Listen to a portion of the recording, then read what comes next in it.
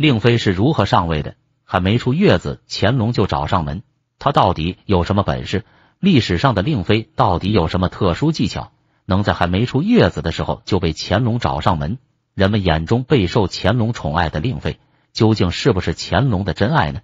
令妃在电视剧中出现的次数非常多。事实上，她在历史上占据的分量也是不小的。人们总认为她是乾隆最宠爱的妃子之一，一来是因为她生育众多，二来是因为他的儿子当上了皇帝，因此成为他得宠的佐证。事实真是这样吗？欢迎收看本宫八历史，点个订阅，一起学习历史知识。令妃卫氏比乾隆足足小了十六岁，他家是正黄旗包衣，也就是奴才出身。看他的姓氏就知道他是汉人出身。本来是没有机会攀附皇室的，因为清朝后宫中有个严格的规定，就是不允许那汉人女子为妃。虽然清朝历史上出现了不少汉人妃子，但是地位都非常低。令妃十三岁那年，按照规定参加了内务府的选秀，进宫成为了一名宫女。其实令妃长得不算漂亮，只是脸庞清秀些而已。她能被皇上看中的原因很简单，就是曾在富察皇后的身边听取教导。能爬到这个位置的人，至少是高等宫女了，能力已经超出了平常人一大截。乾隆十年，令妃刚满十八岁，被乾隆给立为了魏贵人，没几天又直接册封为了嫔位，这在历史上还是比较少见的。仅仅过了三年，他又直接升到了妃位。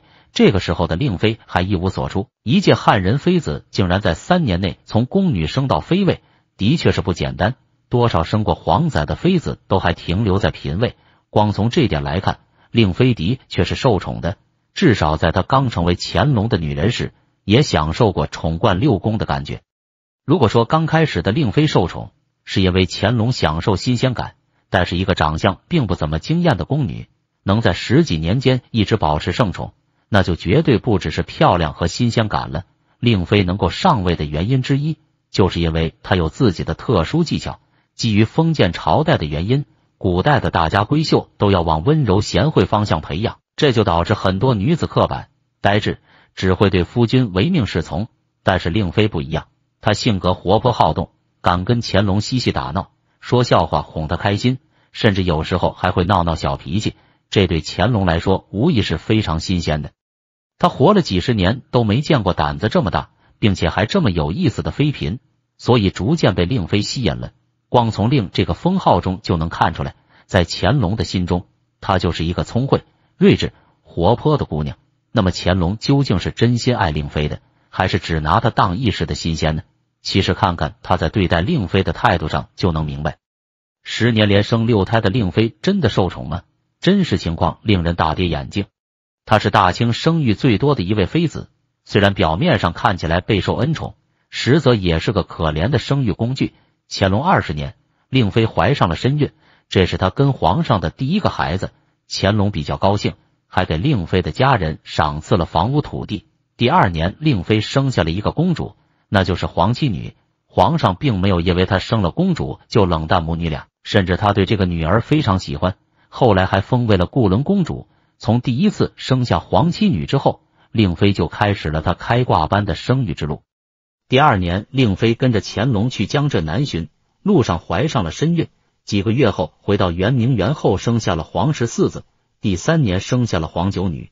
第四年，怀上了身孕，但是因为一些原因没有保住孩子，小产了。刚休息了没几个月，第五年又生下了皇十五子，也就是后来的嘉庆皇帝。第七年，生下皇十六子。这个孩子依旧是令妃在跟随乾隆去南巡的路上怀的。第十年生下了皇十七子，还是在跟随乾隆去热河围猎的路上怀上的身孕。从这个时间顺序中就能看出来，前面的几个孩子都是一年生一个，并且乾隆出行的名单中，令妃永远是名单中铁打的妃子之一。有这样的生产频率，她得到的宠幸也是非常频繁的。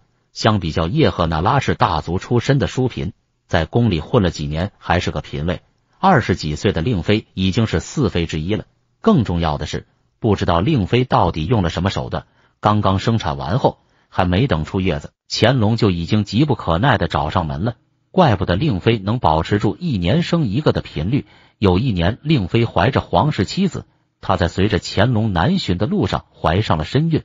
一回到宫中，乾隆就赶紧命人将养心殿的耳房收拾出来，还更换了很多新的家具布置。养心殿原本是皇上办公的地方，除了皇后之外，普通的妃子们是没有资格住在这里的。此时的令妃仅仅只是皇贵妃，却享受到了皇后才有的待遇。这在表面上看起来好像令妃已经宠冠六宫，皇上还给了她超出身份的待遇。但是仔细想想，却还是能发现漏洞。这样高的生产频率对一个女子来说是非常致命的，因此令妃伤了身体，她的后半生中身体也为生孩子留下了许多的后遗症。虽然在这期间，皇上给了令妃很多超规格的待遇，但是也仅此而已了。除此之外。并没有什么皇上心疼令妃的迹象。一个真正爱妻子的男人是怎么忍心让他十年连生六胎的呢？不过，不管乾隆是真心爱令妃，还是因为他太过能生而已，他的的确却是爬到了皇贵妃的位子，设六宫事，贵为后宫之首。他的儿子更是被立为了储君，他在乾隆心中的地位还是值得肯定的。那么，既然这样，最终令妃为什么没有当上皇后呢？乾隆独宠令妃。还将永琰立为了储君，这些真的是爱令妃的表现吗？其实并不见得。乾隆儿子众多，永琰在众皇仔中并不出众，并且论嫡庶、论长幼，按理说怎么都轮不到永琰。难道真是因为令妃太过得宠，所以乾隆对永琰爱屋及乌吗？最开始时，乾隆早就想好了让富察皇后的儿子当储君，不过富察皇后连生了两个儿子都早夭。所以乾隆就只能从其他儿子中选，除了嫡子之外，倒是还出过几个优秀的儿子。然而这几个儿子也不省心，有人在富察皇后的葬礼上失敬而失宠，也有人因为母亲失德，连带着儿子也遭殃。五皇子永琪原本是乾隆的中意人选，但是却年纪轻轻就因病过世了。在乾隆还剩下的儿子中，除了夭折的和未成年的，其余的几个全都资质平庸。所以，其实永琰是从矮子里面拔将军。乾隆选择永琰其实是无奈之举，跟令妃是否受宠关系并不太大。令妃在历史上的称号虽然是孝仪纯皇后，但是她在世的时候并没有当过一天皇后，而是在死后被儿子追封的。自从乾隆继后被废之后，乾隆就再也没册封过皇后，所有的事宜都由令皇贵妃这个后宫之首来处理。